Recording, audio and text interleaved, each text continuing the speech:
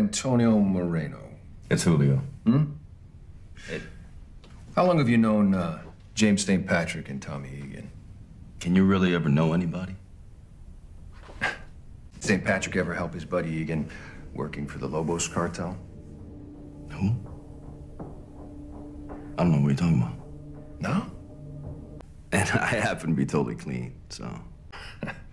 Aren't the Toros blood in, blood out? Well, you see, the wash and fold, it offered me better medical and dental.